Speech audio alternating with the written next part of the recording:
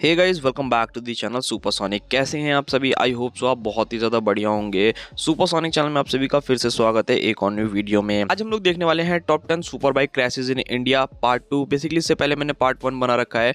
अगर आप लोगों को देखना है तो लिंक डिस्क्रिप्शन में मिल जाएगा। या फिर प्ले लिस्ट जाकर चेकआउट कर सकते हैं, वहाँ पे भी मिल जाएगा। और अगर आप में से किसी को भाई स्पेसिफाइड बाइक पे देखना है लाइक हायाबूसा जेड एक्सटेनार डुगाटी तो उसका भी लिंक जो है डिस्क्रिप्शन में मिल जाएगा। या फिर आप मेरी प्ले लिस्ट चेकआउट कर सकते हैं। वहाँ पर ये सारी वीडियोज़ आपको मिल जाएँगी। सुपर बाइक भाई मतलब आप लोगों में से भी कितने सारे ऐसे लोग होंगे जिनका ड्रीम होगा कि कभी ना कभी मैं हाया भूसा लूँ या फिर B M W S thousand R R लूँ। बहुत सारे लोगों का सपना रहता है। बट मुझको ऐसा लगता है कि इंडिया के अंदर ये सुपर बाइक्स आती तो ज़रूर है बट इंडिया इन बाइक्स के लिए अभी इतना ज़्यादा डेवलप नहीं हुआ जितना अदर कंट्रीज़ हो चुकी हैं। मतलब इंडिया के अंदर भाई इतनी ज़्यादा पावरफुल मशीन अगर आप हाईवे पे लेकर के निकलते हो तो मुझे नहीं लगता आप यमुना एक्सप्रेस वे भी इतना ज़्यादा सेफ़ रहोगे। कुछ ना कुछ गलती कोई ना कोई ड्राइवर या फिर कोई ना कोई इंसान कहीं ना कहीं कर देता है, जिसकी वजह से भाई एक्सीडेंट होने के चांसेस जो है वो इंक्रीज़ हो जाते हैं। खैर, वो सारी चीज़ें छोड़ते हैं, बात करेंगे इन एक्सीडेंट्स के बारे में, कैसे ये एक्सीडेंट्स हुए हैं, कहाँ पर ये एक्सीडेंट हुए और क्या इन एक्सीडेंट्स को रोका जा सकता था।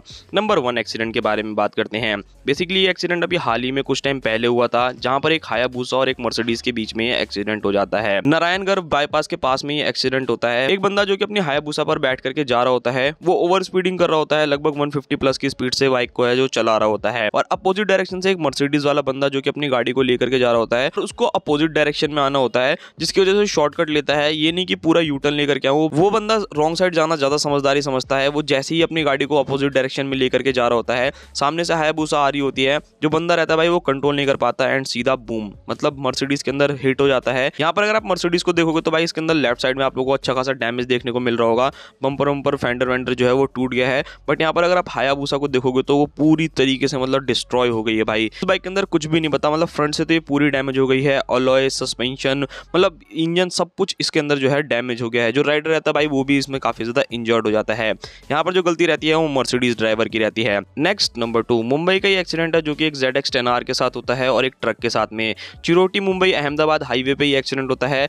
आप में से अगर बाइकर्स होंगे तो डेफिनेटली आप लोग कभी ना कभी तो संडे राइड पर ही होंगे। वैसे ही ये लोग भी अपने ग्रुप के साथ इंजॉय कर रहे होते हैं। बिल्कुल ही मॉर्निंग का टाइम में रहता है और थोड़ा सा फॉगी वेदर रहता है, जिसकी वजह से विजिबिलिटी काफ़ी हद तक लो रहती है। एक ट्रक जो कि जेड एक्स के आगे चल रही होती है और जो जेड एक्स वाला बंदा रहता है, वो थोड़ा सा पीछे चल रहा होता है। एकदम से जो ट्रक ड्राइवर रहता है, वो बिना इंडिकेटर दिए ही यू टर्न ले लेता है, जिसकी वजह से जो जेड एक्स वाला बंदा है, वो पैनिक हो जाता है, वो ब्रेक मारता है। बाइक जो है, वो स्किड हो जाती है और सीधा जाकर के ट्रक के टायर्स के अंदर घिस जाती है। यहाँ पर अगर आप लोग बाइक को देखोगे तो फ्रंट से जो है, वो काफ़ी बुरी तरीके से डैमेज हो गई है। हेडलाइट्स मीटर सब मतलब गायब हो गया है। आगे से काफ़ी ज़्यादा डैमेज आ गया है।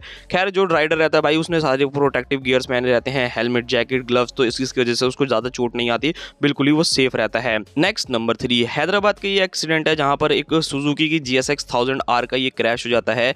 12 सितंबर 2011 में ये एक्सीडेंट होता है। इंडिया के काफ़ी ज़्यादा फ़ेमस क्रिकेटर रहते हैं जिनके बेटे की एक्सीडेंट हो जाता है। वो बिल्कुल कॉलेज स्टूडेंट रहता है और उसके मदर फादर उनको बाइक गिफ्ट करते हैं। लगभग तेरह चौदह लाख रुपये की एक बाइक जो कि बिल्कुल ही ब्रांड न्यू रहती है। मुश्किल से चार से पाँच दिन ही पुरानी वो बाइक रहती है। इवन वो अभी रजिस्टर भी नहीं हुई होती है। और जो ये बंदा रहता है भाई, ये इस बाइक की टॉप स्पीड लगाने की कोशिश करता है। मतलब टू प्लस की स्पीड पर जाने की कोशिश करता है। ये और इसका कज़न ब्रदर जो कि इस बाइक पर बैठ करके जा रहे होते हैं और हादसे का शिकार हो जाते हैं। ये एक्सीडेंट होता है आउटर रिंग रोड पे हैदराबाद में। इस एक्सीडेंट के अंदर जो पिलियन रहता है, उसकी तो ऑन द स्पॉट डेथ हो जाती है बट जो राइडर रहता है, वो काफ़ी बुरी तरीके से इंजर्ड होता है और बाद में उसकी भी डेथ हो जाती है। यहाँ पर आप लोग बाइक की हालत देख सकते हो मतलब ब्रांड न्यू बाइक रहती है भाई, इसकी क्या ही हालत हो गई है। तो भाई अगर आप लोग भी जोश जोश में आपके मदर फादर बाइक दिलाते हैं और आप टॉप स्पीड मारने की कोशिश करते हो तो भाई ऐसा बिल्कुल भी मत करो। मतलब पहले बाइक को समझो, उसकी पावर को समझो, उसके बाद ही कुछ ऐसा डिसीज़न लो, ठीक है? Next number four R one का एक्सीडेंट है जो कि केरला में होता है। एक आर वन और एक पेड़ के बीच में एक्सीडेंट होता है और उसके बाद नतीजा आप लोग देख सकते हो।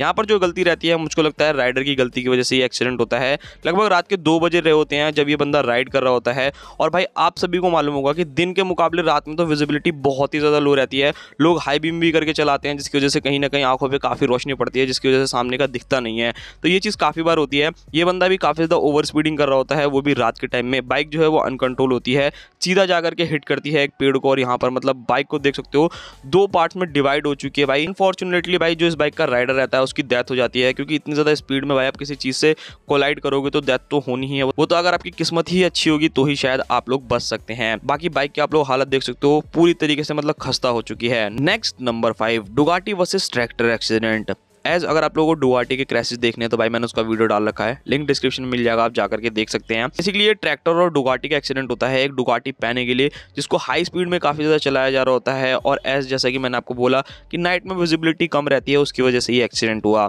यहाँ पर ये बंदा रात के टाइम में काफ़ी ज़्यादा ओवर स्पीडिंग कर रहा होता है और जाकर के एक ट्रैक्टर को हिट कर देता है। ऐसे ये बंदा ट्रैक्टर को हिट करता है भाई, उसके कुछ टाइम बाद जो है डुगाटी के अंदर आग लग जाती है। मतलब पूरी तरीके से जल करके राख हो जाती है भाई, आप लोगों के सामने है। इस एक्सीडेंट के अंदर जो राइडर रहता है भाई उसकी डेथ हो जाती है। भाई, आप लोगों ने भी हाईवे पे ये चीज़ काफ़ी बार एक्सपीरियंस करी होगी। ट्रक हो या ट्रैक्टर हो, वो उनका जो पीछे का पूरा कंपार्टमेंट होता है, भाई, वो पूरा लोहे से बना होता है। और काफ़ी बार उसके अंदर लाइट्स नहीं लगाते लोग या फिर कोई रिफ्लेक्टर नहीं लगाते, जिसकी वजह से हमें अंदाज़ा ही नहीं लगता। तो यहाँ पर ट्रैक्टर ड्राइवर की तो गलती रहती ही है और उसी के साथ साथ जो डुगाटी वाला बंदा है, उसकी तो पूरी की पूरी रिस्पॉन्सिबिलिटी रहती है इतनी तेज़ ज़्यादा क्यों चला रहा है। लगभग ये एक्सीडेंट जो होता है, लगभग टू प्लस की स्पीड पर होता है। नेक्स्ट नंबर सिक्स नेपाल का ये एक्सीडेंट है जो कि जट प्रभजोत के साथ होता है, जो कि काफ़ी ज़्यादा फ़ेमस यूट्यूबर है। बेसिकली वो अपनी एच पर भाई राइड पे जा रहे होते हैं नेपाल में और वहाँ पर वो एक्सीडेंट हो जाता है। इनकी स्पीड भी थोड़ी सी ज़्यादा रहती है। ये एक ओल्ड मैन को हिट कर देते हैं। इस एक्सीडेंट के अंदर जो ओल्ड मैन रहता है भाई, उसकी डेथ हो जाती है और जो जट प्रभजोत भाई हैं, वो काफ़ी बुरी तरीके से इंजर्ड हो जाते हैं। मतलब इनके दोनों ही पैर जो हैं, वो काफ़ी बुरी तरीके से फ्रैक्चर हो जाते हैं, काफ़ी क्रिटिकल हालत में भी रहते हैं। और जो इनकी एच है भाई, उसकी हालत तो पूछो ही मत। मतलब उसके अंदर कुछ भी नहीं बचा। फ्रंट से वो पूरी तरीके से डिस्ट्रॉय हो गई है। हेडलाइट्स मिरर्स विरर्स मतलब सब कुछ वहाँ से गायब हो गया है। मीटर वीटर सब कुछ गायब हो गया है। तो ये एक्सीडेंट काफ़ी ज़्यादा भयानक था नेक्स्ट नंबर सेवन गुजरात का ये एक्सीडेंट है जहाँ पर ट्राइम डेटोना 675 और एक एक्सयूवी 500 के बीच में एक्सीडेंट हो जाता है। अहमदाबाद में एक्सीडेंट होता है Y M C A club highway पे, जो टाइम डिटोना का राइडर रहता है भाई, वो इस बाइक को काफ़ी ज़्यादा ओवर स्पीडिंग कर रहा होता है और इवन उसने ना तो हेलमेट पहना होता है, ना ही कोई सेफ्टी गियर्स पहने होते हैं और ये एक्सीडेंट जो है वो काफ़ी ज़्यादा स्पीड में हो जाता है। एक XUV five double O driver जो कि सामने से आ रहा होता है टाइम डिटोना का राइडर रहता है भाई, वो बाइक को कंट्रोल नहीं कर पाता और वो जाकर के एक्सयूवी फाइव डबल ओ के अंदर हिट कर जाता है। यहाँ पर जो एक्सीडेंट होता है भाई, वो काफ़ी ज़्यादा भयानक होता है। जो बाइकर रहता है भाई, उसका जो पैर रहता है वो लगभग तीन हिस्सों में टूट जाता है तो ये काफ़ी ज़्यादा भयानक एक्सीडेंट रहता है। यहाँ पर अगर आप बाइक को देखोगे तो बाइक पूरी तरीके से डिस्ट्रॉय हो गई है। मतलब इसका फ्रंट तो पूरा का पूरा खत्म हो गया है। फ्रंट की जो फेयरिंग है हैंडलिंग है हेडलाइट्स है मतलब ईच एंड एवरीथिंग जो है वो डिस्ट्रॉय हो जाती है। यहाँ पर जो एक्स यू फाइव डबल का ड्राइवर रहता है भाई, वो वहाँ से भाग जाता है। पता नहीं क्यों उसकी गलती रहती है या जो भी। और उसके बाद यहाँ पर अगर आप एक्स यू फाइव डबल को देखोगे तो यहाँ पर जो उसका फेंडर वेंडर है, वो भी थोड़ा बहुत डैमेज हो गया है। तो भाई, अगर आप लोग भी सुपर बाइक चलाते हो तो प्लीज़ भाई, आप लोग अपने सेफ्टी गियर्स को पहन के चलाओ। इवन एक हेलमेट तो पहन के चलाओ कि आपके सर में इंजरीज ना है next number eight. Kawasaki Z X का ये एक्सीडेंट होता है। अब भाई देखो, हर बंदा रिस्पॉन्सिबल राइडर तो होता नहीं है। कुछ लोग ऐसे भी होते हैं जो बेफजूल में सुपर बाइक ले लेते हैं और उससे मतलब सिर्फ़ और सिर्फ़ शो ऑफ़ करने की कोशिश करते हैं।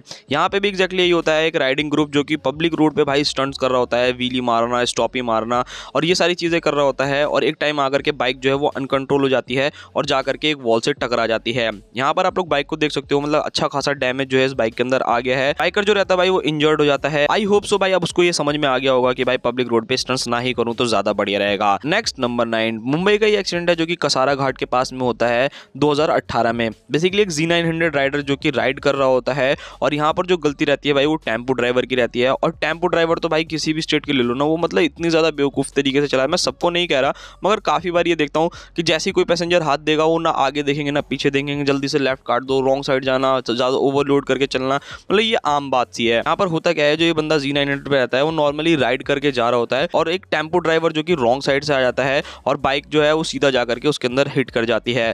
इस एक्सीडेंट के अंदर जो भाई बाइकर रहता है, उसकी तो ऑन द स्पॉट डेथ हो जाती है। मतलब किसी और की गलती की वजह से बताओ, किसी और को जान देनी पड़ी। यहाँ पर अगर आप लोग इमेज देखोगे तो बाइक की हालत देख सकते हो। नेक्स्ट और लास्ट नंबर टेन ये एक्सीडेंट होता है यमुना एक्सप्रेस वे जून दो हज़ार इक्कीस में। एक हायाबूसा और एक एस थाउज़ेंड एक्सआर का ये एक्सीडेंट हो जाता है। ठीक भाई, अगर आप लोग दिल्ली से हैं तो आप मेरी बात को रिलेट कर सकते हैं। मतलब दिल्ली के अंदर बहुत सारे ऐसे ग्रुप्स हैं जो कि सुपर बाइक को लेकर के भाई संडे राइड पे जाना मतलब इंजॉय करना, वो लोग कहीं ना कहीं जाते हैं। एक्जैक्टली यहाँ पे भी यही चीज़ होती है। ये बंदे जो दोनों रहते हैं भाई, वो काफ़ी ज़्यादा हाई स्पीड में बाइक को चला रहे होते हैं और एक कार ड्राइवर जो है वो, मैंने काफ़ी बार ये चीज़ देखी है, जो कार ड्राइवर रहते हैं और जो बाइक राइडर्स रहते हैं, वो आपस में काफ़ी बार कॉम्पिटिशन करने लगते हैं कि मेरी बाइक ज़्यादा पावरफुल है या मेरी कार ज़्यादा भाग सकती है। यहाँ पे भी एक्जैक्टली यही होता है कार ड्राइवर जो है, जो हायाबूसा को ओवरटेक करने की कोशिश कर रहा होता है और वो एकदम से इतनी बुरी तरीके से ओवरटेक करके जाता है। जो हायाबूसा वाला बंदा रहता है, वो काफ़ी ज़्यादा पैनिक हो जाता है, वो एकदम से ब्रेक करता है और उसके पीछे जो बी वाला वाला बंदा आ रहा होता है, उसको बिल्कुल भी टाइम ही नहीं मिलता है रिएक्ट करने का और इतने में ही जो है बाइक को पीछे से हिट कर देती है हायाभूसा को। यहाँ पर इस एक्सीडेंट में दोनों ही बंदों की डेथ हो जाती है काफ़ी बुरी तरीके से और बाइक को आप लोग देख सकते हो मतलब हायाभूसा को आप पीछे से देख सकते हो, समझ सकते हो कि इसमें कितना ज़्यादा इंपैक्ट आया है। पीछे की साइड से भाई इसके रिम्स हो गए टेल लाइट हो गए मतलब सारी चीज़ें जो है काफ़ी बुरी तरीके से डिस्ट्रॉय हो गई हैं। वहीं अगर आप बीएमडब्ल्यू को देखोगे तो इसमें भी फ्रंट में काफ़ी ज़्यादा डैमेज आ गया है। हो गया सस्पेंशन हो गया हेडलाइट से सारी चीज़ें कहीं ना कहीं डैमेज हो गई हैं। भाई मेरी इस वीडियो से आप लोगों को क्या क्या चीज़ें समझने को मिली, आप मुझे ज़रूर बताना और स्पेशली मैं उन लोगों को ज़रूर बताना चाहूँगा, भाई, जो न्यू एज के लड़के हैं, जिनको बिल्कुल हाल ही में बाइक्स मिली हैं। फिर चाहे वो छोटी ही बाइक्स क्यों ना मिली हो, डेढ़ सौ सी सी दो सौ सी सी तीन सौ तो यार थोड़ा सा अपने अंडर पावर में चलाओ। पहले बाइक को समझना सीख लो, कैसे ब्रेकिंग करनी है, कैसे अगर अचानक से कोई आ जाए सामने तो गाड़ी को कैसे कंट्रोल करना है। इन सारी चीज़ों को अगर आप लोग समझ जाओगे तो उसके बाद भले एक बार को राइड करोगे तो आप लोगों की कहीं ना कहीं जो स्किल्स है ना भाई, वो कहीं ना कहीं आपको सेव कर लेंगे। तो मिलते हैं किसी और नेक्स्ट वीडियो में। अगर आप लोग इसका थर्ड पार्ट चाहिए तो आप मुझे कमेंट कर सकते हैं। मैं कोशिश करूँगा कि मैं आप लोगों के लिए थर्ड पार्ट बना दूँ।